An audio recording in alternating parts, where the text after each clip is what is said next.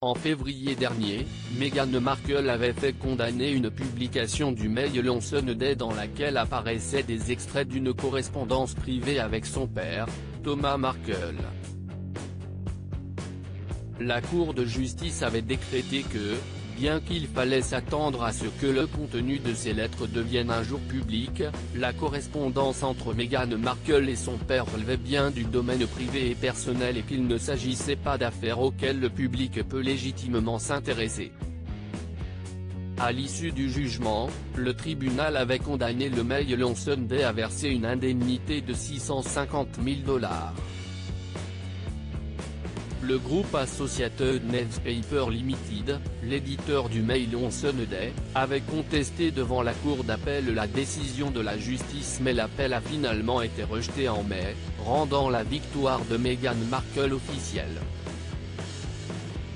Ce dimanche 26 décembre, le Mail on a accepté sa défaite en évoquant dans sa une la victoire de l'épouse du prince Harry.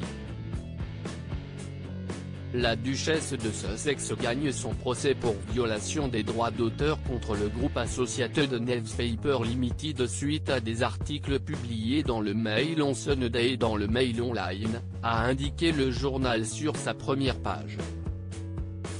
Meghan Markle dénonce les méthodes des tabloïds Cette victoire n'est pas anodine pour Meghan Markle, qui avec le prince Harry, a dénoncé à plusieurs reprises les méthodes des médias et la pression exercée sur sa vie privée.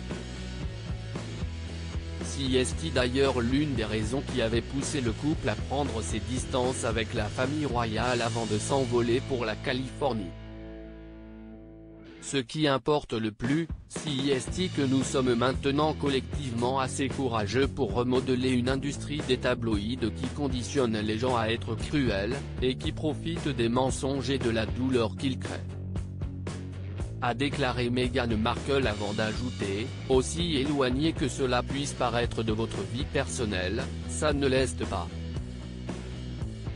Demain, ça pourrait être vous.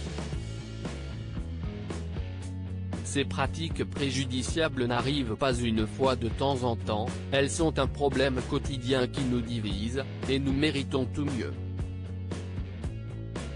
Loading Budget